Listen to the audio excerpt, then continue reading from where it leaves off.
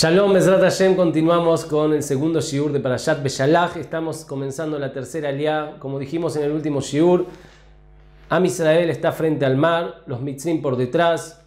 Una situación muy peligrosa. A Kadosh Baruj le dice a Moshe: ¿Por qué me gritas a mí? Dile a Am Israel que viajen. De acá aprenden Jajamim de que, de que Moshe Rabino estaba haciendo tefilá para que Hashem haga un milagro y Hashem le dice, ahora no es momento de tefilá, ahora hay que hacer, ahora tienen que entrar al, mar y yo voy a abrir el mar, o que hay quienes explican, dice Rashi, de que Moshe Rab- a Kadosh Baruj Hu le dice, no depende de mí ni de ti, depende de Am Israel, que Am Israel entren y vas a ver cómo se va a abrir el mar, la, el Zhut, los méritos de los patriarcas, el mérito de la emuná les va a ayudar, no tienes lo que preocuparte, vamos adentro. De todas maneras, nos cuenta la Torá de que los mitzrim estaban muy cerca del campamento de Israel. Entonces vino un ángel y se puso por detrás del campamento de Israel para protegerlos de todas las flechas y piedras que ellos tiraban. Y de esa manera también dice la Torá que vino la Mudanan, la columna de nube, la cual funcionaba durante el día, vino y se puso también frente, atrás del campamento de Israel una vez que llegó la columna de fuego, de manera que, según Rashi, la columna de fuego estaba por delante, la columna de, de nube fue por detrás junto con el ángel, y así toda la noche no se acercó el campamento de Mitzrayim al campamento de Israel. Sigue la Torá y nos cuenta de que Akadosh Hu le dice a Moshe, levanta tu bastón y tu mano, inclínala sobre el mar, así voy a abrir el mar. Y en ese momento, cuando Moshe hace lo que Hashem le dice, Hashem manda un viento muy fuerte, el cual empezó a secar todo el mar, y Am Israel tiene que entrar dentro del mar. Hay varios midrashim, qué es lo que pasó en ese momento, de todas maneras, hay opiniones que dicen de que realmente Am Israel no entró al mar cuando estaba seco, sino cuando todavía había mar, y era una prueba de Muná si estaban dispuestos a meterse, incluso de que el mar era mar todavía, y nos cuentan los jajamim de que se empezaron a pelear entre las tribus. ¿Quién se tira primero? ¿Quién tiene el zehut de demostrar la emuná? En entrar al mar, incluso que es mar, si Hashem dijo que se va a abrir, se va a abrir, no hay problema.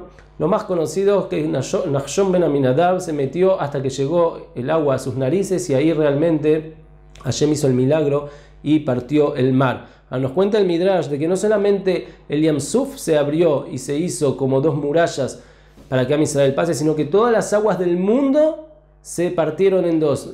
Todo agua que estaba en un vaso en cualquier parte del mundo también se partió y se hicieron como si fueran dos columnas. De todas maneras, hay mucho para profundizar en todo esto, pero nosotros seguimos en la para allá. Nos cuenta la Torá de que Mitzrayim empiezan a perseguir a Israel, y ahí cuando Mitzrayim empiezan a perseguir dentro del mar a Am Israel, a Kadosh Barujú, ahí sí se enoja y dice, ahora empieza la venganza, y entre la columna de fuego y la columna de las nubes, ellos hacían de que el mar empezó a hervirse y todos los caballos empezaron a, lastimarse de manera muy fuerte y también los carruajes empezaron a desarmar, los mitzim empezaron, todos los huesos empezaron a romper por toda la, sacudida que Hashem les hizo. Y así empezó la venganza en la mitad del mar. Cuando la mayoría del pueblo de Israel ya había pasado el mar Hashem le dice a Moshe de vuelta levanta tu mano con el bastón e inclínala sobre el mar para que yo cierre el, el mar y realmente así fue de que los Hashem hizo, eh, Moshe hizo eso y el agua empezó a cerrarse.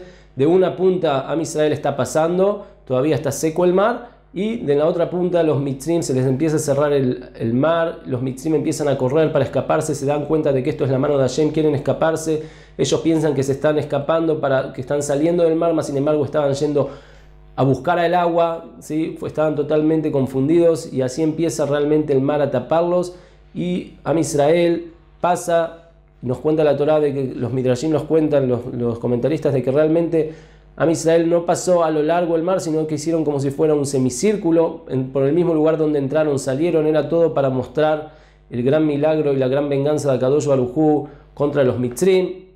Y está escrito de que cuando Am Israel pasa, Hasta entonces Am Israel empezó a temer y decir quizás nosotros estamos saliendo de esta punta del mar y los mitzrim salen de la otra punta, no sabían qué estaba pasando. Hashem hizo un milagro que el mar empezó a devolver a los cuerpos de los mitzrim que estaban todos muertos. Cuenta la Torah que no quedó ni siquiera un mitzri. Esa fue la venganza de Akadosh Barujú y Am Israel vio como todos los mitzrim empezaron a salir muertos en la orilla del mar y así estaban tranquilos de que fue realmente la venganza que Hashem hizo y los comentaristas también dicen de que no solamente, sino que incluso al, al ministro espiritual de Mitzrayim también lo vieron muerto en el mar, de manera que se reveló a Hashem cómo vengó la venganza del pueblo de Israel y Am Israel recibió este gran milagro y por supuesto el próximo paso es que, que Am Israel empieza a cantarle a Kadosh Barujú como vamos a ver Besat Hashem en el próximo Shiur. Espero que les haya gustado. Braja Beatzlaja.